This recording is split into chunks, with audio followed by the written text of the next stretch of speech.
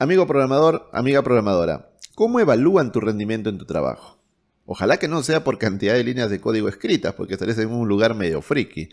Pero tiene que haber alguna métrica, ¿cierto? Tal vez la cantidad de pull requests, de merge requests, la cantidad de horas trabajadas, las reuniones a las a cuales asistes, los issues resueltos, las features lanzadas, los fines de semana que seguiste trabajando, los feriados que seguiste trabajando, las vacaciones que no te tomaste, las noches que no dormiste, el tamaño de tus ojeras. Algo debe medirse para saber qué tan bien estás rindiendo. Esta pregunta que me estoy haciendo, medio en chiste, aunque en el fondo sabes que no es chiste, se la hacen muchas empresas porque la industria del software es muy grande, es una de las más grandes del mundo, entonces mientras más rendimiento tenga, pues mejor le va a las empresas. GitHub ha lanzado esta semana los resultados de un estudio que hicieron haciéndose esta pregunta que hace que un programador tenga un buen día de trabajo, que hace que su rendimiento aumente.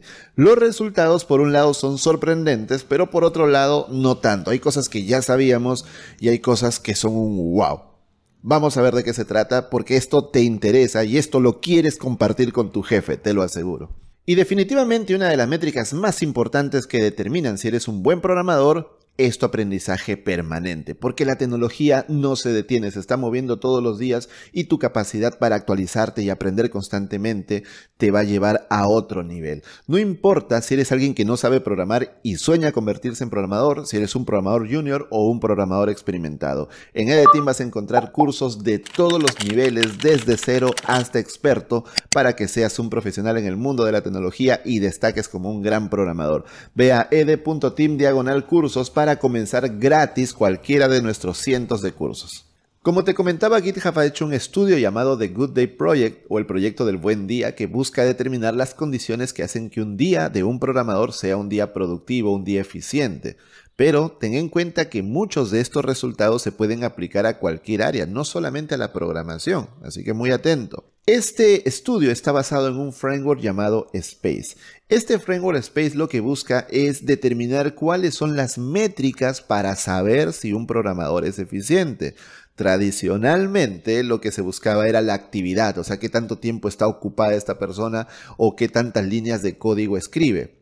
Los tiempos han cambiado, más líneas de código, creo que tú como programador sabes muy bien que no significan un mejor código, muchas veces significan un peor código. De hecho, refactorizar es trabajar más horas para quedarte con menos código. Así que la línea de código no son una buena métrica. El framework Space dice que no existe una sola métrica para determinar el rendimiento de los programadores y es mejor irnos por 5, que son justamente las iniciales de Space. La S de satisfaction o satisfacción, es decir, que tan bien se siente el programador en su día de trabajo. Tú sabes que hay días en que nos sentimos superhéroes, nos sentimos que podemos todo y hay días en que estamos abatidos, en que sentimos que no servimos o que hemos perdido el tiempo. Esa es una métrica. Otra es el performance o rendimiento. Esto se refiere a los resultados que obtenemos como programadores.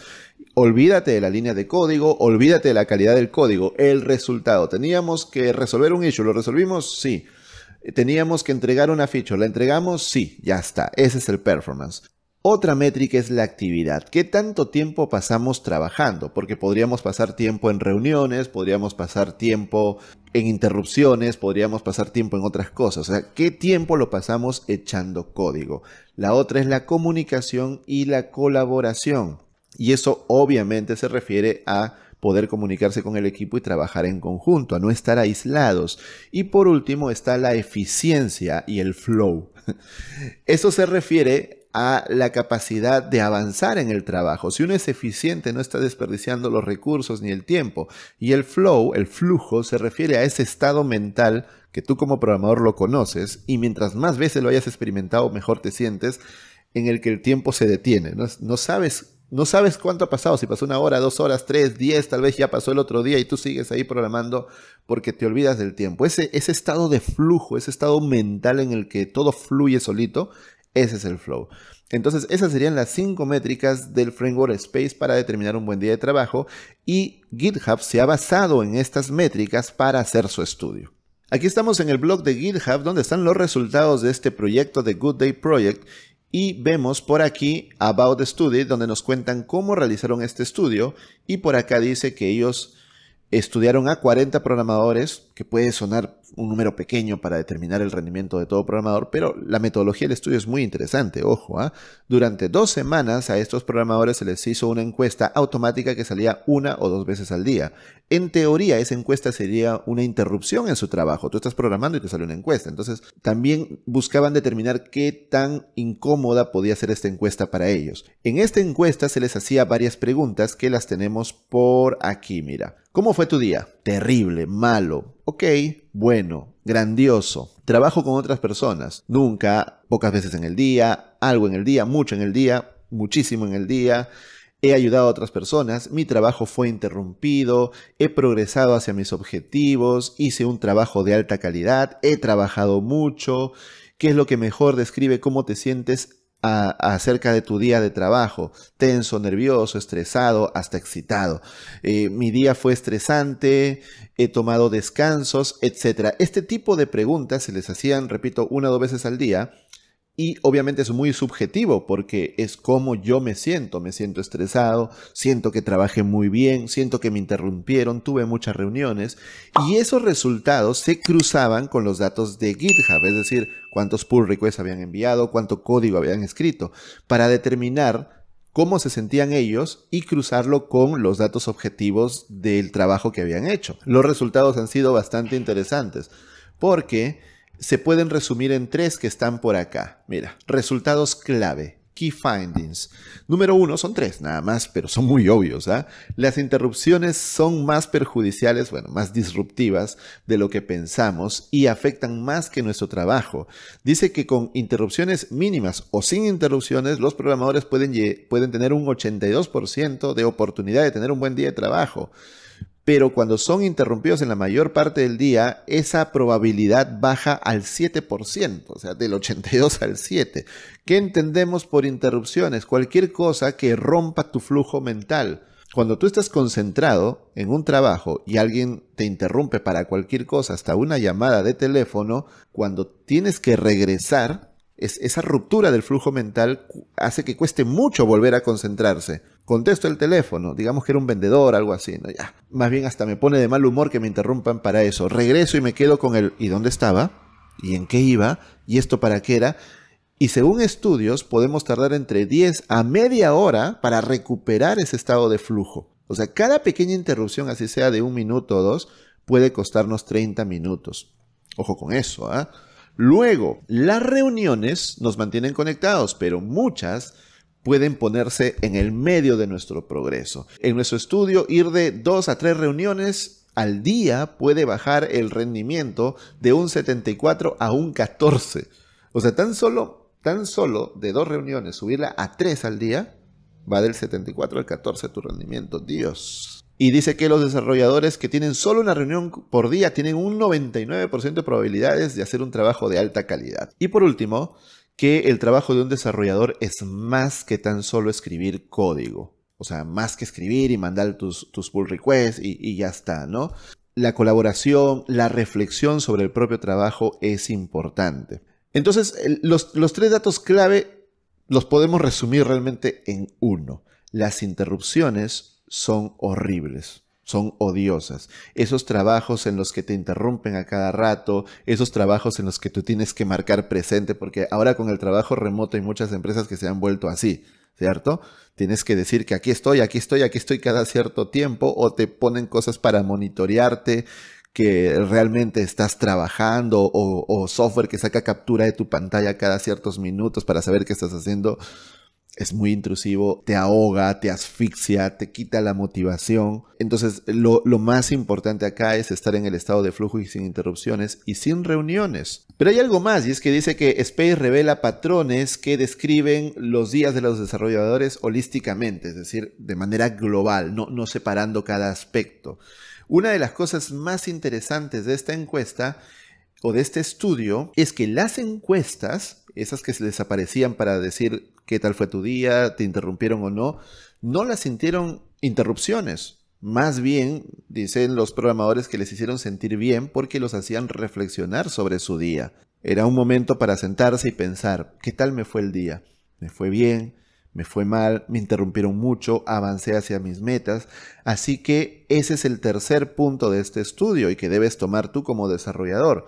Bájale las interrupciones, bájale las reuniones, pero también tómate un tiempo para reflexionar, porque esa reflexión te va a ayudar a que tú mejores tus días de trabajo. Hoy me interrumpieron mucho, hoy no avancé, hoy esto me quitó tiempo. Tal vez pueda hablar con mi jefe para que no me interrumpan mucho, porque eso nos beneficia a todos. Hay mucha gente que lamentablemente tiene el temor de ir y decirle estas cosas a los jefes. Ve y díselo porque es por el beneficio de todos. Pero me gustaría cerrar este video reflexionando sobre estos tres puntos. Las interrupciones, las reuniones y la reflexión acerca de todo nuestro trabajo. ¿Cómo lo hacemos en Edeteam? Cuando yo leí esto me alegré porque estamos bastante alineados y eso significa que somos una empresa con una buena cultura. En la parte de las interrupciones, nosotros trabajamos principalmente de forma asíncrona. Asíncrona significa que si hay algo que hacer, nos lo asignamos en Asana, que es un sistema para gestión de proyectos, que tenemos un curso en Edeteam también si quieres aprender. De esa manera no nos interrumpimos mandándonos mensajes directos por Slack. De hecho, nosotros tenemos como política no trabajar con mensajes directos. No, o sea, cada vez que alguien manda un mensaje directo para preguntarnos algo, le decimos, oye, mándalo al canal público trabajo o déjame esa tarea en Asana y por ahí la discutimos, porque de esa manera evitas las interrupciones. En el tema de las reuniones, en EDTeam hemos sido de esas empresas sobrecargadas de reuniones que llega el final del día y te preguntas en qué demonios se me fue todo el día, no he hecho nada, pero cuando reflexionas sobre tu día ves que estuviste llenecito de reuniones que ni te dejaron respirar, a veces incluso uno almuerza mal. Dime si no te ha pasado almuerzas corriendo o almuerzas en la misma reunión, te toca apagar la cámara para almorzar porque sabes que no vas a tener otro momento. Eso es terrible. Lo que hemos hecho en EDTeam es prohibir las reuniones después de la una de la tarde. No existen, absolutamente prohibidas, salvo que sea una absoluta emergencia y pidiendo el permiso. Vas y explicas, miren, esto es una emergencia, no hay otro momento, podemos reunirnos, o sea, no impone, se pregunta. Eso ha elevado nuestra productividad a niveles que no se imaginan. No hay ni una sola reunión en la tarde y luego las reuniones en la mañana las hemos empezado a dosificar, porque al quitar las reuniones en la tarde caímos en el error que puede pasarle a cualquier empresa, de tener todas nuestras mañanas ocupadas y era como, wow, de lunes a viernes tengo de 9 a 1 que no puedo respirar y era también terrible porque en la mañana es como el momento en que uno está más concentrado. Entonces hemos luchado contra las reuniones y te pido que en tu empresa, en tu trabajo, luchen contra las reuniones porque son devoradores del tiempo, son uno de los peores enemigos, ¿no? Esta fatiga del Zoom que muchos trabajadores remotos a lo largo del mundo están experimentando por tener que estar todo el tiempo en malditas reuniones con la cámara ahí enfocándolos, pues ¿a qué hora trabajas? Y por último, el tema de la reflexión es importante reflexionar si tu día fue bueno, o fue malo, porque esa reflexión te ayuda a hacer cambios. ¿Por qué nosotros prohibimos las reuniones en la tarde? Porque justamente ese proceso de reflexión nos ayuda a darnos cuenta que no éramos productivos. Entonces, lo que hacemos en EDTeam es el feedback en todas las direcciones. Lo normal en las empresas es el feedback de arriba hacia abajo, es decir, del jefe a su equipo. En EDTeam el feedback es en todas las direcciones, del jefe al equipo, del equipo al jefe, del jefe de un área al jefe de otra área, del equipo de un área al jefe de la otra área, y así en todas las direcciones porque es la única manera de avanzar. De esa manera sabemos que estamos haciendo bien, de esa manera sabemos que estamos haciendo mal, qué le incomoda a nuestro equipo y podemos ir puliendo porque nuestro loguito representa la iteración, el cambio permanente, el no detenerse. Así que te invito a compartir este estudio con tu jefe, con tu equipo de trabajo para que sean mucho más productivos.